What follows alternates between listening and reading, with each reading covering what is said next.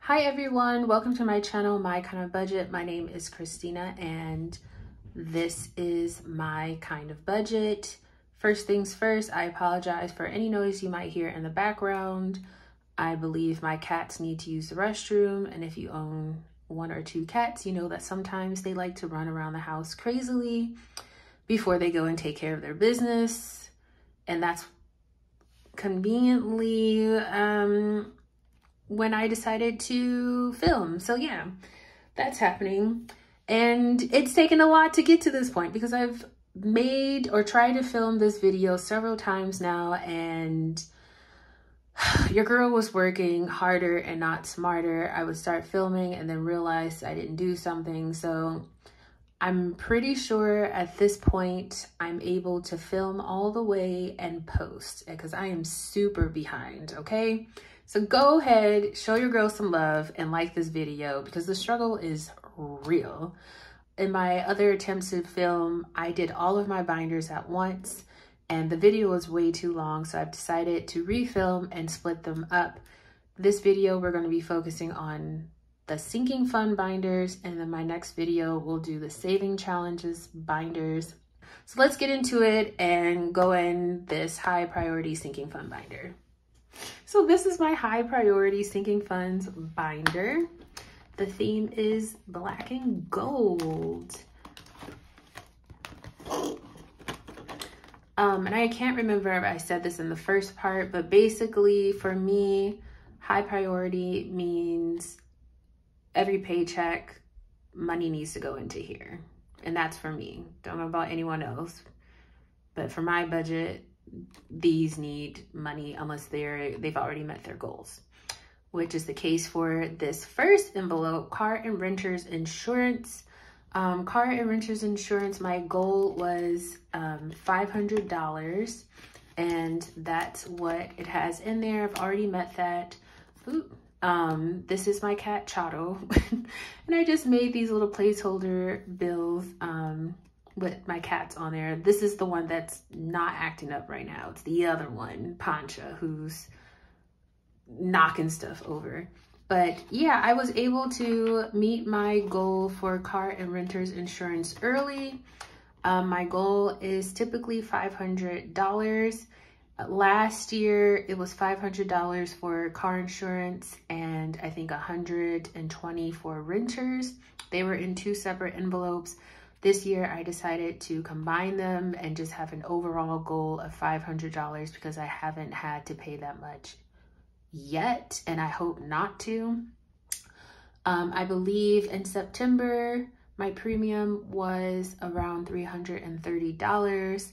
I anticipate it to be probably closer to 400 just because insurance companies just increase rates every year. That's what they do um, I will not be paying more than $500. I don't even want to pay 500 If that's the case, your girl will be looking for somewhere else to go and starting over. But um, yeah, car and renters insurance is good to go for March 1st when uh, my premium is due. I pay the full amount so that I don't, um, or so that I can take advantage of the discount for paying it all at once. So that's car and renters insurance. Next, we have emergency fund. Last year, my goal was $2,000 and I was able to do reach that by my last paycheck in December of 2023. This year, I only plan to save $1,000. I don't think I need any more than that. I actually don't even think I need a thousand, but that's what we're gonna do. I made this savings challenge and no, I don't have an Etsy shop yet, but I'll let you know when that opens. Um, this one is set up to follow a bi-weekly schedule in a way. There are 24 icons. Um, and I believe those of us who are paid bi-weekly have at least 24 paychecks a year. Um, I get 26. Um, but yeah, there are 24 icons. I've, with a thousand dollars, I was able to divide it up into these amounts and with 55 being the highest. There are three fire icons, so I only have to worry about doing $55 three times, which is really nice um, and manageable for me. Um, savings. Last year did a thousand dollars. This year i will also be doing a thousand dollars. Um, and i think i'm doing a savings challenge i am. Um, this is another one that i created um, that i might make available on my etsy shop or whatever i decide to do. Um, this one has 26 coins to follow my 26 paychecks. Highest amount being $60 and lowest being 20 I believe my challenge last year that I made had a high of 65 and really the 60s are tough as well, but anything over 50, I think it's a little hard for me sometimes. So I, I must have rearranged these to make it to where I can have the highest be 60. Because uh, I want to say last year my lowest was around like 15 or 10. So we'll be working on this this year and you'll see me work on this um, in the cash stuffing video in a few videos. Next is Christmas gifts. And I think, did I make this before we had a talk? I talked with my family to see if they actually didn't want to do Christmas gifts this year um, and rather we do a family trip. Everyone seemed to be on board, but I'm the one who will probably stick to that and they may I don't know, change their minds later. So I'll have to ask them again in July. But the goal for me is $500. And that's either going to be used for gifts or a family trip.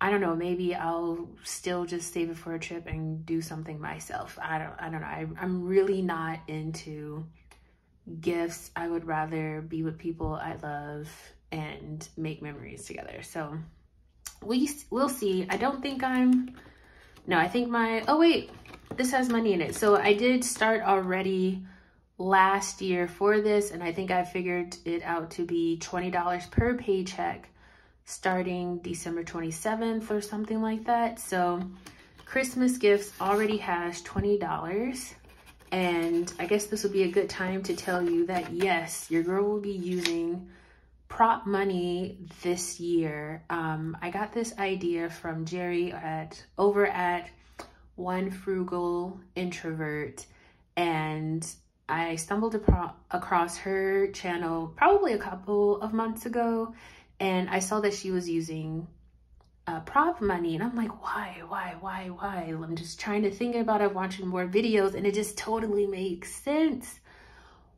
All of this is going towards saving anyway or savings anyway. So we might as well capitalize on it and just have this money in a high yield saving savings account. I don't know if that's what Jerry's doing, but that's what your girl is doing. And so I could be making money while saving. So I have opted to use prop money for the stuffing, uh, envelope stuffing um, for most of my binders. There will be some where I mean, all the binders will be getting cat, uh, stuffed with prop money and the real money will either be in my high yield savings account or my checking account, depending on how often I plan on accessing it. This is one of the ones that will be in my high yield savings account. Um, so yeah, Christmas already has 20 birthdays, I believe also already has, yeah, $20. Um, birthdays, pretty self-explanatory for birthday gifts and I also plan to use this for things like Mother's Day or Valentine's Day, things like that. Pilates. Pilates is in high priority because I absolutely love Pilates. I've been doing it for about two years now, I think. And I have, let's see, we have one, two, three, 20, $320 in the bank right now for Pilates and I believe I've set it up to have 160 in my high yield savings account just on reserve so that I always know that I have at least one month that I can still do um, for Pilates in case anything were to happen. And I have the other $160 in my checking account um, for when the membership fees come. And this one, I believe I usually do $80 per paycheck to go in here and um, yeah, it's Pilates.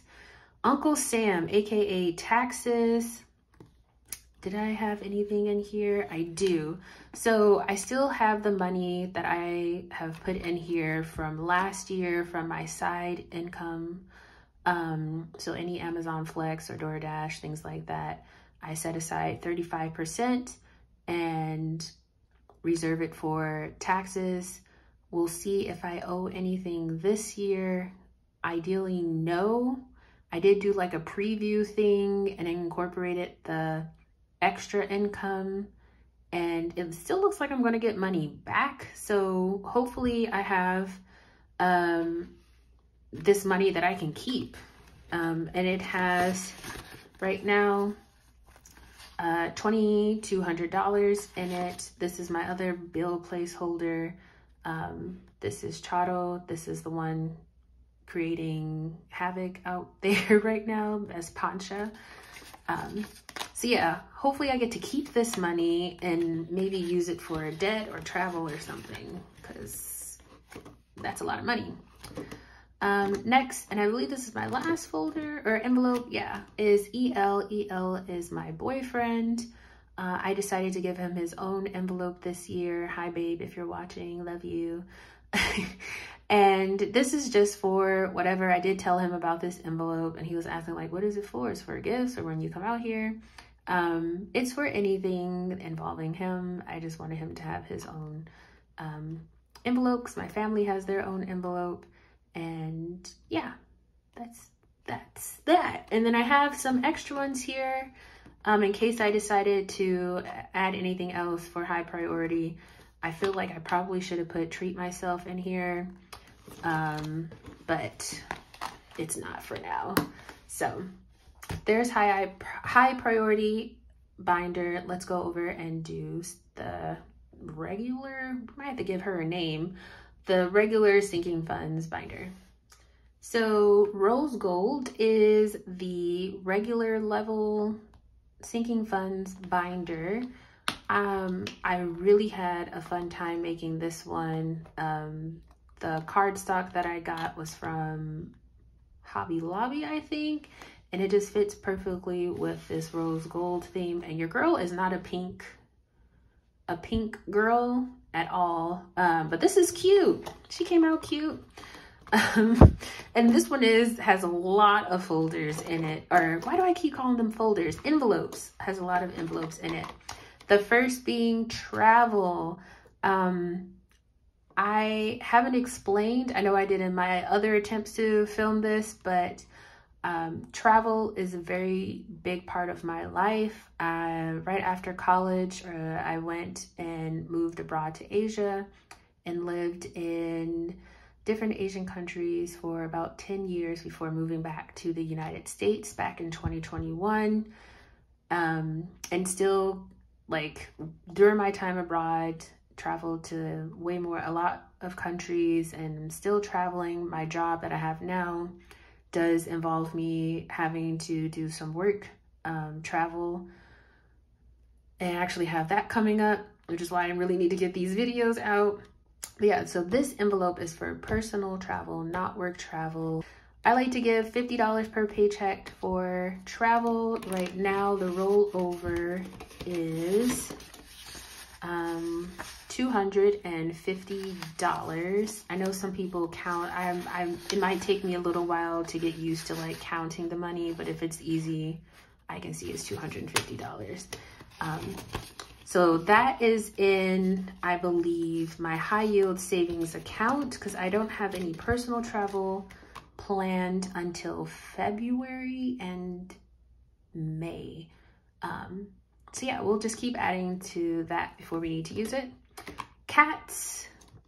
I got two cats. I've already talked about them several times now. Um, right now they have 20, 40, 40 dollars and that is in my checking account. And it's for anything like food, vet, kitty litter, whatever. Next is medical. Medical I primarily use for my prescriptions. I will also use it for a copay if that's required. I recently got a refund for one of my most recent doctor visits uh, for a copay. and I'm not going to argue with that. I'm not going to call and ask like, "Hey, did you guys really mean to do that?" It's money back and I'm going to keep it. Um but yeah, so this one I think is also in my checking account and I just had a dentist appointment. Uh, and I have to go get my root canal or crown thing fixed and that's going to cost me $500 with insurance. And so right now this has one two three four fifty four fifty and I need 50 more dollars to be able to pay that bill. And I think I need to pay it by when is my next I have to go in twice so I think it's sometime in the, in early February that I will have to pay for that. So yay. I'm very thankful to have health insurance but even then like it's just still a lot y'all. It's a lot. Next is car miscellaneous. This is for anything involving my car tabs um, tires, servicing, car washes, whatever. This is in my savings account. I got new a set of new tires last year. Um, my car just got an oil change, I think a month or so ago, so she's good to go for a while. What I'm saving for now are my car tabs, which are due in June. And I believe for me, because I have the state parks plates, it's around a hundred or so dollars and I think my goal is around 150 because I would love to get the two year tabs versus the one year and I hope that it doesn't cost any more than $150 um, right now car miscellaneous has 50 70 80 dollars and so we're we're almost there. We have a lot of time to get to 150, but yeah. Month ahead. After I made this envelope, I kind of didn't want it anymore. Um, I feel like if, I don't know, I don't need a month ahead. I feel like it would be nice, but in the end, I probably just use my emergency fund or a credit card. I don't know. What are your thoughts about that? Please share in the comment section. What are your thoughts on the month ahead envelope? Do you feel like it's good to have? Would you use your emergency funds for it? I don't know. I was thinking maybe rather than month ahead, doing something called year ahead. And that's not to cover all of my expenses for the next year, but take care of something. Like if I don't have to worry about my electricity or my phone bill or Wi-Fi bill for all of 2025. Like, I don't know, I would be very grateful for that. Like, I don't know. What are your thoughts? Should I keep it or should I change it to year ahead? Let me know. But yeah, nothing is in here now because this is a new envelope for me. Clothing, um, it's for clothing and I'm saving up to buy some new summer or warmer weather clothes. I live in Minnesota and we have winters for about six months, starting around October, going into May or April.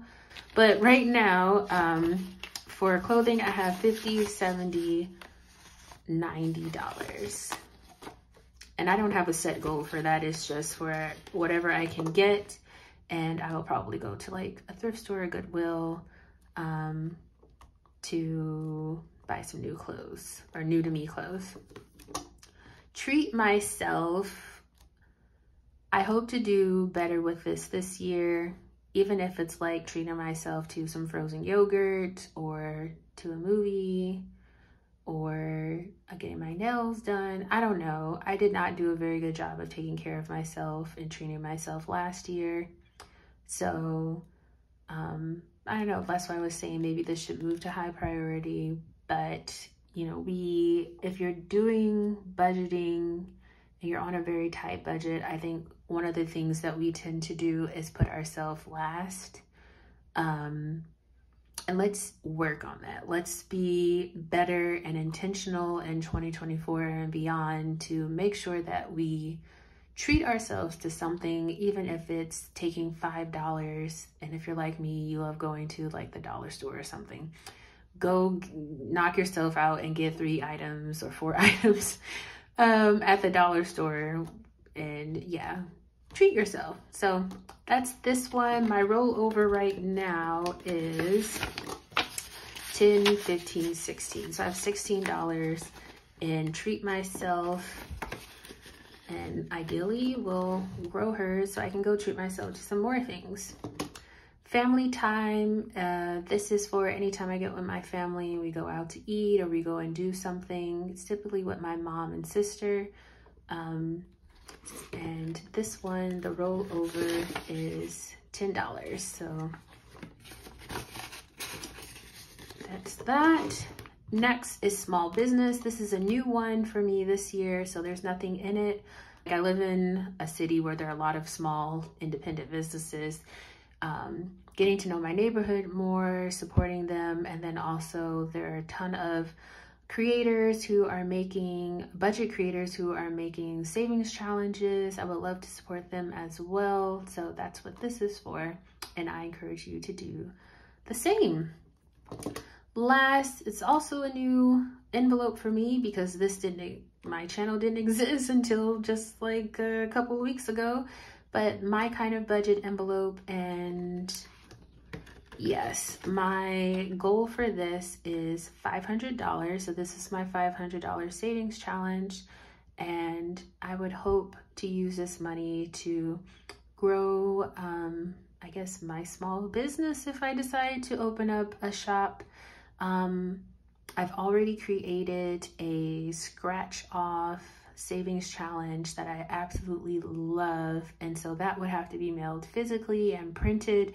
And so I want to get a, a, a, a, really good printer. I would have to buy materials and all that. So I'm hoping um, to save up $500 to uh, get that. So I don't know if I'll so for digital downloads, I know I don't need the $500, but anything physical that I would have to ship out, I feel like I would need this. So once we finish this challenge is when I will probably start doing the physical saving challenges. But yeah, that's it. That was the regular level. Uh what should we name her? Because i feel weird saying regular level sinking funds binder. Um but that's her. Um yeah so that's all i have for this video thank you guys so much for tuning in if you have any suggestions or tips on anything that might need to be improved please let me know i am very new to this type of content um yeah, when I was living abroad, I had a YouTube channel um, and when I was living in Japan. And so everything was face to face. Now you're seeing my hands and it's this, it's very different. Um, so yeah, any, any tips would be appreciated. In my next video, we'll be going over my saving challenges, binders. Um, so definitely keep an eye out for that and I'll see you in the next video. Bye.